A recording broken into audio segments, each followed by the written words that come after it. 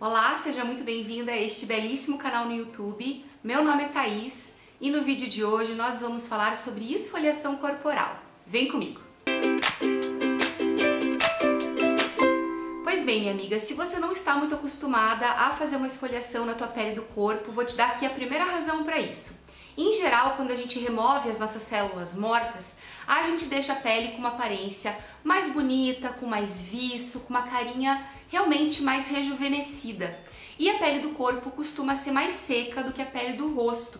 Então é interessante que você faça esse processo para preparar a pele para receber um bom hidratante ou até mesmo outros ativos corporais que você vai utilizar. Dessa forma, a renovação celular acontece e você ajuda mesmo a pele a ter uma aparência macia, bonita, uma carinha assim cheia de vício, cheia de vida. E qual é a frequência ideal para esfoliação corporal? Vai depender muito do seu caso, mas em geral, né, os especialistas falam ali entre uma, duas vezes por semana. Então você precisa também observar qual é o grau de abrasão do seu esfoliante físico, né? Aquele que contém partículas que vão ajudando a remover as células mortas. Portanto, vá com calma, faça com paciência e dessa forma você também vai entendendo quando encaixar na sua rotina a esfoliação. Uma coisa muito bacana também sobre a esfoliação é que com ela você consegue prevenir o aparecimento de foliculite e também os temidos pelos encravados. Mas é importante frisar para você nunca fazer esfoliação depois da depilação, porque a pele já vai estar mais sensível, realmente já passou ali por um processo. Então, se você quiser prevenir os pelos encravados, você pode fazer aí um ciclo de esfoliação pensando mais ou menos uns 10 dias antes de depilar e aí você vai a cada 48 horas, né, a cada dois dias, fazendo aí a esfoliação corporal e para alguns diazinhos antes, justamente para manter também essa pele bem íntegra e preparada para a depilação que vai vir a seguir.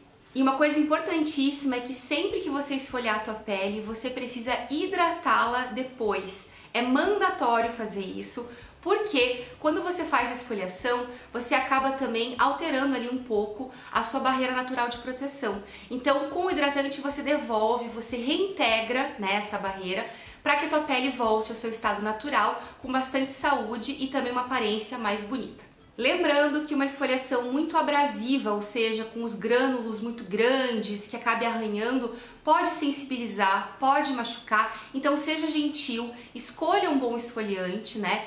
E justamente tenha esse hábito de uma maneira bem saudável, assim, sem fazer nada muito agressivo, muito exagerado, justamente porque quando você acaba agredindo demais a pele, ela pode sensibilizar, pode ficar vermelha, e isso é sinal de que a sua barreira de proteção foi realmente danificada e não é o ideal para acontecer. Para esfoliar, o ideal é você fazer movimentos circulares e ir controlando a pressão também. Não adianta apertar muito, fazer uma pressão muito grande, Dá para ir com calma, com jeito. Algumas marcas dizem que o esfoliante é para ser utilizado na pele úmida, então você faz isso no banho. E aí você vai também adequando essa utilização de acordo com aquilo que vai funcionando. Tô repetindo isso bastante porque eu acho que tem muito de se perceber, de ir entendendo como é que a pele vai respondendo, né? Eu, por exemplo, tenho aqui algumas opções de esfoliantes e um deles, por exemplo, eu gosto de usar com a pele um pouco mais seca, porque eu acho que funciona melhor. Mas a gente já vai chegar lá. E se você puder, escolha sempre esfoliantes corporais que não contenham partículas plásticas.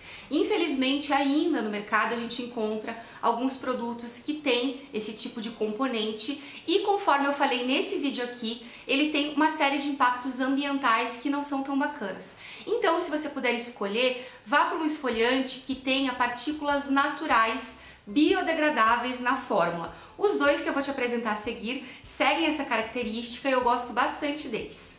A Sanives é uma marca de esfoliantes muito famosa e acho que foi no ano passado eu acabei tendo contato de novo com ela e comprei um esfoliante, gostei tanto que até repeti a dose. Ele se chama Soft Skin, é feito de avocado, ou seja, abacate e mel e contém os grânulos naturais, né, biodegradáveis. Nesse caso específico, tem pó de casca de noz e também farinha de milho para fazer a abrasão, que eu diria que é uma abrasão moderada, nem muito forte, nem muito agressiva, nem muito branda. E é legal porque é um produto sem parabenos, não tem testes em animais e também ele é livre de óleo. Geralmente, né, a marca pede para você usar com a pele molhada, mas eu criei uma técnica pessoal que para mim funciona, que é com a pele assim úmida, quase seca, assim, realmente muito pouco.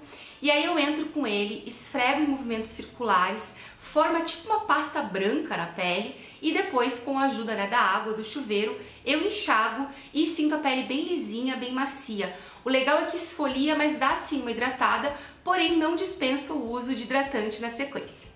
A minha segunda indicação vem de uma marca de autobronzeadores, porque afinal de contas, né, se você vai fazer um bronzeamento em casa, é legal estar com a pele bem íntegra, sem células mortas, para o tom ficar perfeitinho, mais uniforme.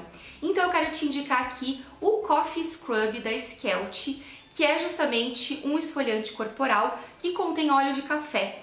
Mas assim, a marca fala que ele esfolia, tonifica, hidrata e também limpa a pele, né? Claro que para mim é mais a questão da esfoliação mesmo. Ele também é livre de parabenos, tem uma fórmula vegana e sem testes em animais. E claro, além desse óleo de café, ele tem também o pó da semente do café e o pó da casca do coco. Na minha opinião, ele faz uma abrasão um pouco mais intensa, então é preciso sim tomar cuidado na hora de usar e esse aqui eu gosto de usar com a pele úmida mesmo. Eu acho que ele desliza melhor, tem mais facilidade. Então eu preciso ir controlando a pressão para conseguir usar o produto de uma forma que realmente fique tudo certo na pele. E como tem tudo de café, ele tem um cheiro de café também, que não é a minha parte preferida. Na minha opinião, tem um pouco de cheiro de café parado, quando você toma e esfria. Mas tudo bem. Interessante também que as partículas mais escuras dá para enxergar bem no banho e na hora de lavar tudo, né, para poder sair, você consegue enxergar exatamente onde é que tá o esfoliante ali. Coisa de dona de casa. Eu espero ter animado você a investir na esfoliação corporal. Se você curtiu esse vídeo, deixa seu like e não se esquece também de se inscrever no canal e ativar notificações para saber quando tem vídeo novo por aqui. Um super beijo e nos vemos na semana que vem.